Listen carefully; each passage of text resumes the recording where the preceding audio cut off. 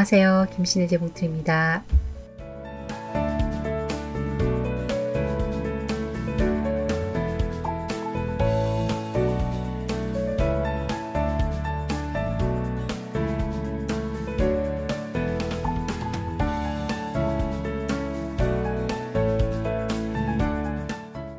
누구나 하나쯤은 가지고 있는 파우치. 바로 스트링 파우치죠? 만들기도 쉽고 모양도 예쁜 스트링 파우치를 두 가지 타입으로 만들어 봤어요.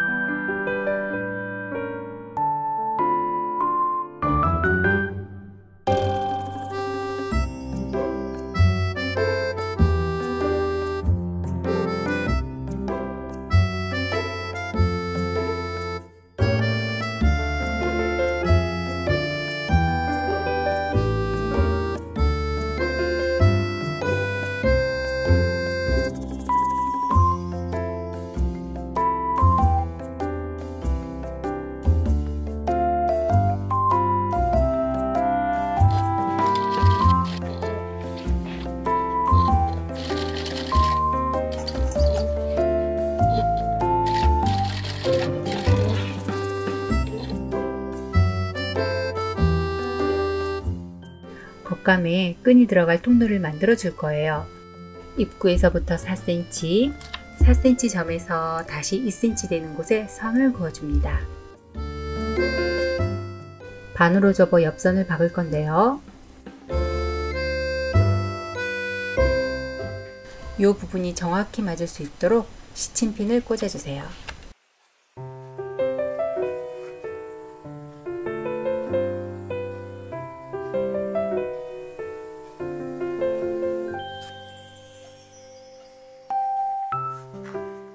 끈이 지나갈 통로를 제외한 옆선을 박음질 해줍니다.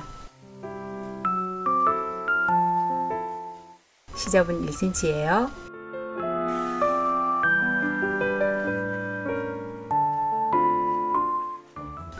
안감의 옆선은 창구멍을 제외하고 박음질 해줍니다. 옆선을 박을 건데요. 이렇게 무늬나 색깔을 맞춰야 할 때 저는 맞춰야 할 부분에서부터 시작을 한답니다.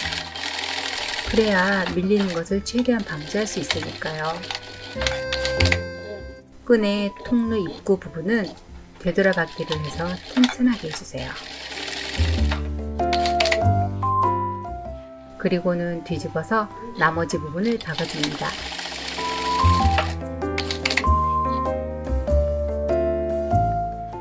요번에도 맞춰야 할 부분에서부터 시작할게요.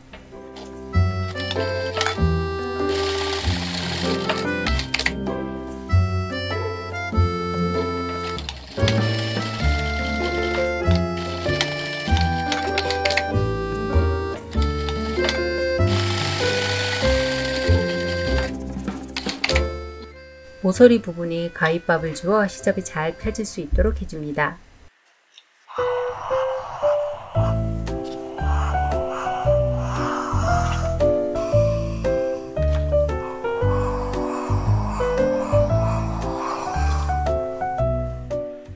그런데 이곳의 시접이 덜렁덜렁 되는 게 싫기도 하고 몇 번 끈이 지나가고 나면 올풀림이 생기기도 한답니다.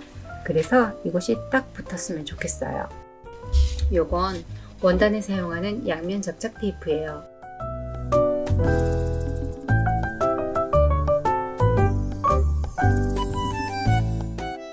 얇아서 손으로도 잘린답니다.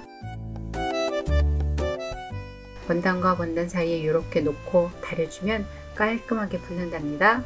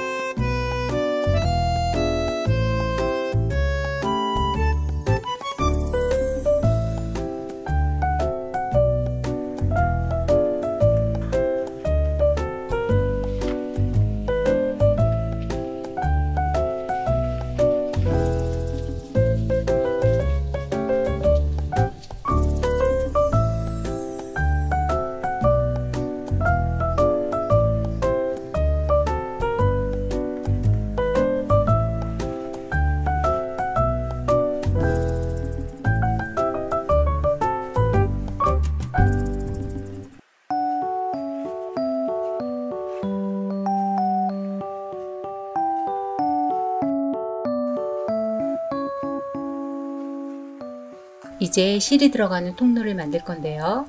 겉감에 박을 곳 표시도 하지 않고 바로 재봉틀에서 똑바로 박을 수 있을까요? 대답은 네예요. 처음에 겉감 입구에서 4cm 밑에 실이 들어갈 통로에 선을 그렸죠? 4cm 중에서 1cm는 입구 시접으로 들어갔으니까 지금 입구와 통로 사이는 3cm겠네요. 요 3cm 위치에 바늘을 꽂아주세요. 지금 상태라면 침판의 표시를 보면서 박아주면 돼요. 그런데 이번에는 이것을 사용해 볼게요.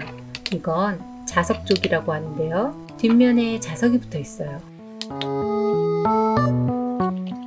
내가 받고 싶은 넓이의 원단 끝에 자석 조기를 붙여주세요. 미싱이 침판에 붙여서 원단을 일정한 간격으로 박을 수 있도록 도와주는 거예요. 그리고는 바늘을 보는 것이 아니라 자석 조기에 원단의 끝이 반듯하게 맞는지 계속 보면서 박는 거예요. 역시 제품도 장비빨이랄까요?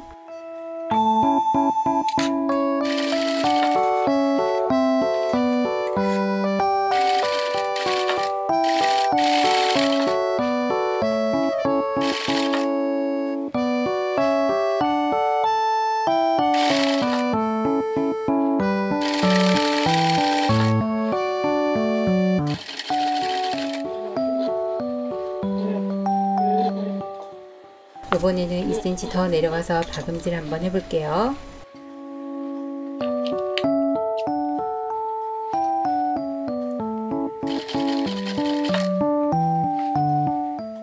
이 녀석의 신박한 장점 하나는 스팀핀이나 바늘을 줍기에도 편리하다는 거예요.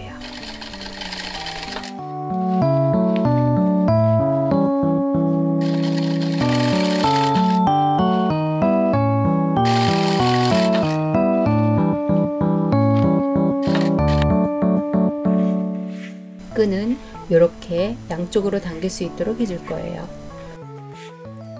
요건 끈 끼우기예요. 이렇게 링을 올려 조여서 사용하는 거예요. 이것도 하나씩 가지고 있으면 유용하답니다.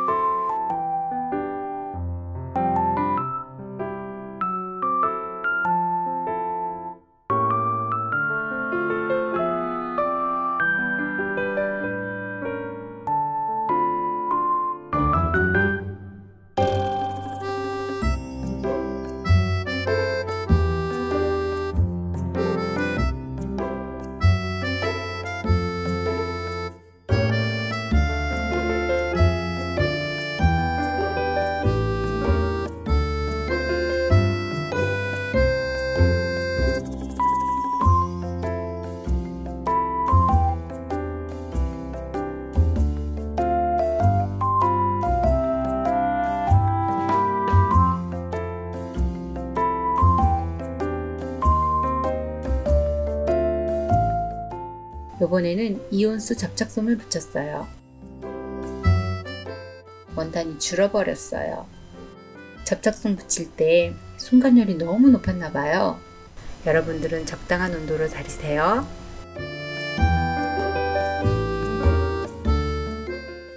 이번에는 끈 통로를 별도로 원단 위에 붙일 건데요. 원단의 옆면은 시접을 1cm 주어 다려줍니다. 이곳 역시 양면 접착 테이프를 이용해 붙여줄 거예요. 그러면 원단이 들뜨는 것을 방지해 주겠죠?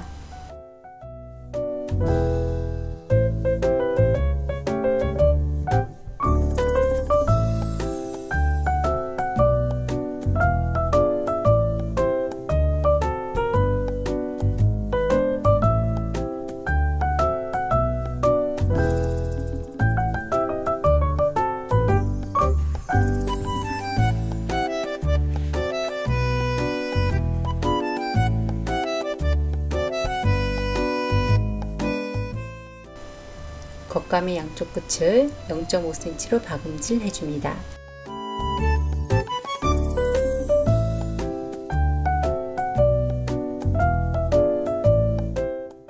안감을 대고 양쪽 끝을 1cm로 박음질 해줍니다.